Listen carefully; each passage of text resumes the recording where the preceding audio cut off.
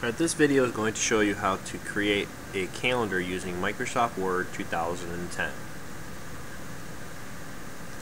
It will be tied to uh, the handout that you will, can also find on the, on the school website uh, entitled uh, 8th grade calendar assignment. To get started on this project, the first thing you need to do is to open up Microsoft Word 2010. Once you have it open, the first thing you do is you click on the Insert tab and in the insert tab then you're going to click on table. You need to insert a table that has seven columns going across and six rows going down.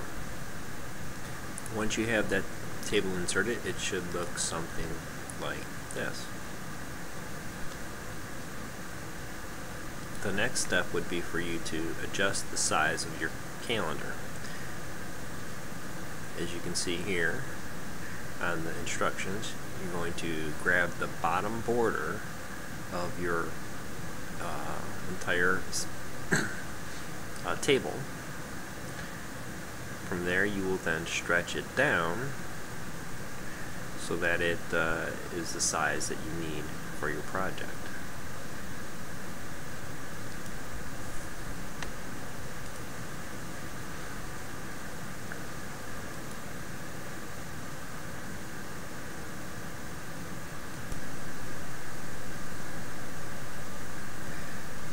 Then the next step is to distribute the rows evenly.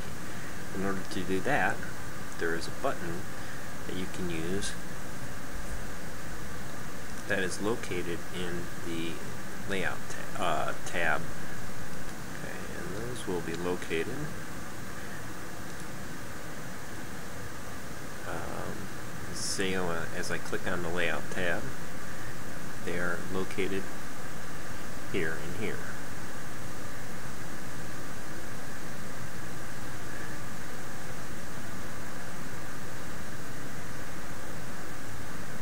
You click on the distribute rows evenly, your table starts to, come together a little bit more like it should. Now, you might want to move your table down towards the bottom. Um, but before we do that, we're going to put in the, the days of the week. So, in order to do that, we will go back to our document here and type in the days of the week, starting with Sunday, Monday, Tuesday, and so on.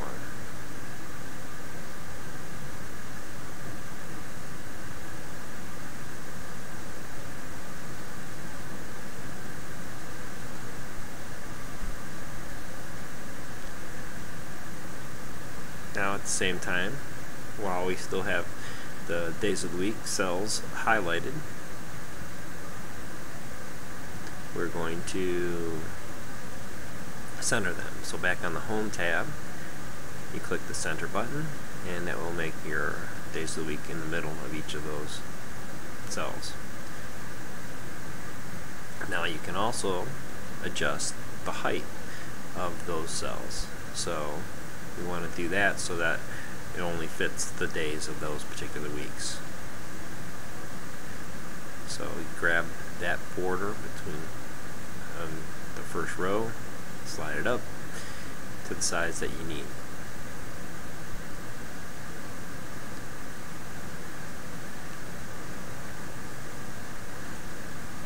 The next step is that we need to put the days of the uh, months that you have. What are the dates for your month? In my case, I'm going to do December 2014. So that particular month starts on a Wednesday, and I start with number one there, and go across and continue to fill in all of the other days. And as you can see, it ends on a Friday the 31st.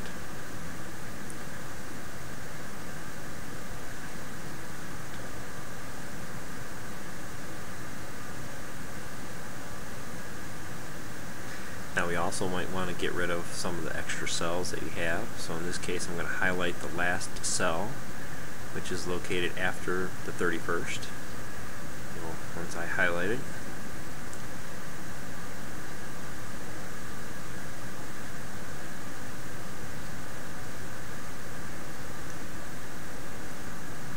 you can delete it. So if I right click on it, hit delete, it'll ask me if I want to delete the cell.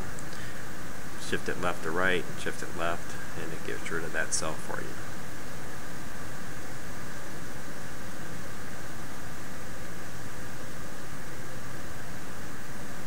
Now we want to move the uh, calendar down to some place so that we can have a picture above it.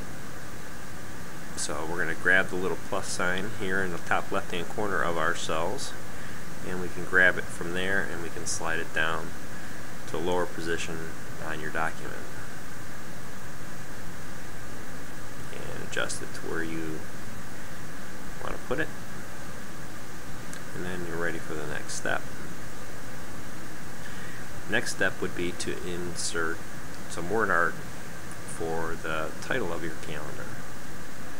So on the Insert tab,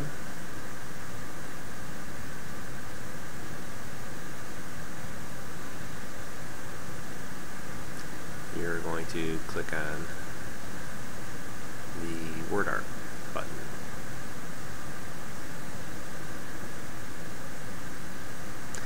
And you can choose whichever style suits your needs.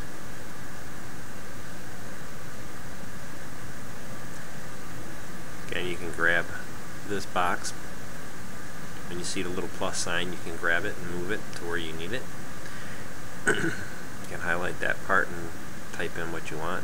In this case, I'm going to put January 2014.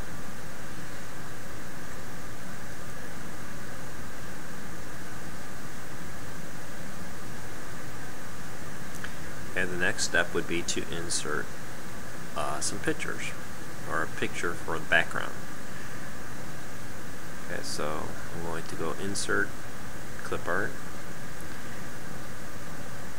Once this tab box opens up, type in what you uh, want to search for. In this case, I'm going to do a winter scene.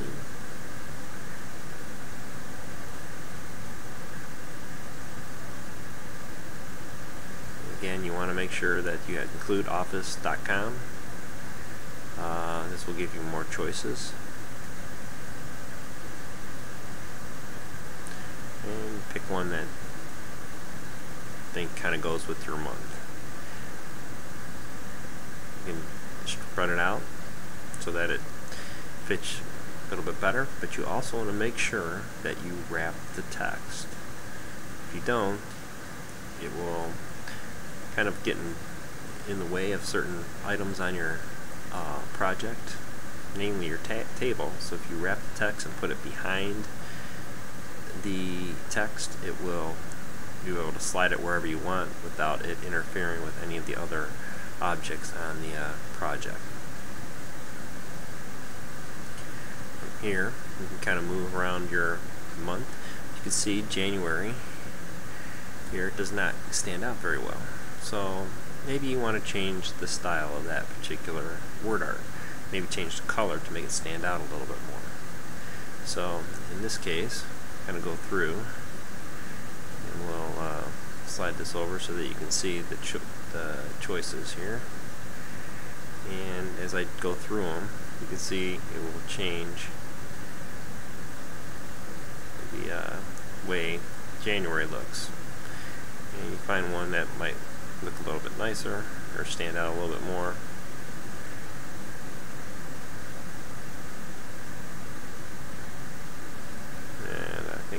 with a red one here.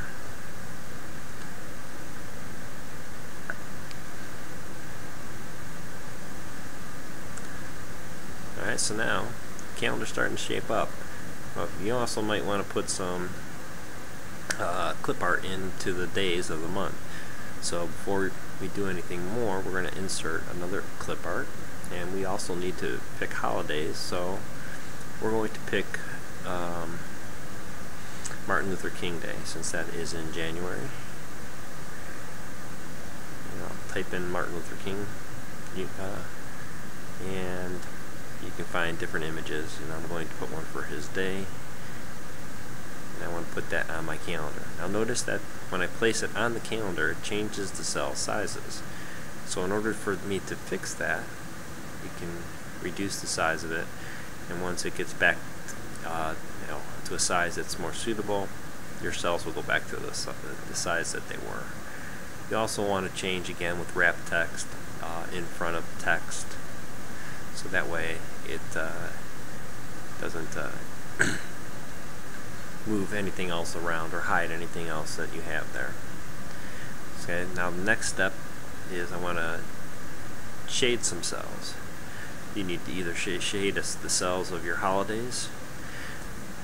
In this case, I'm going to shade the, the, cells of my weekends to show you how it's done. So basically, highlight the, the cells that you want shaded, right click, and you will get uh, board, find borders and shading, and then find the color that you might want to change it to. In this case, I'm going to do a light blue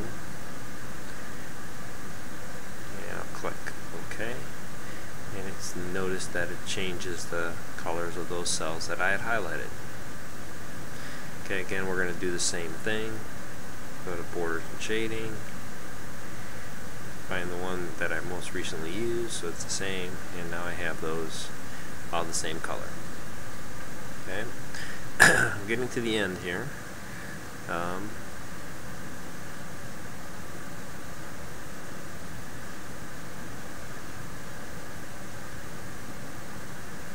last step, one of the next steps here is I'm going to need to change the border. So in this case what we'll do is we'll highlight entire calendar, right click again and go border and shading. And in this case we'll click the tab that says borders and shading. You want to make all of the borders the same. In this case I think I pick a uh, brighter color so they stand out so I'll pick red and you'll notice in the preview that you see that the colors on the preview changed. Okay. you can also from here change the width.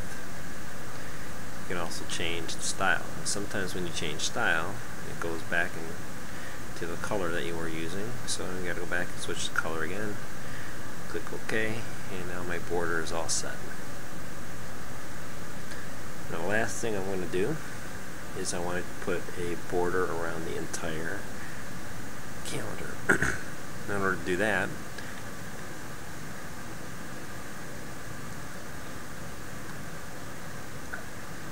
we will go to the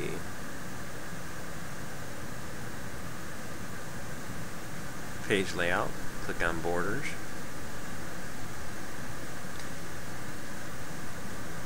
And you choose this, the style border for your page that you want. I choose a 3D one here. And make sure that in your preview you see the border and how it's going to look. So those tabs are not clicked, you need to make sure that you click on all of them. Okay, and then hit OK. And now I have border around my entire project.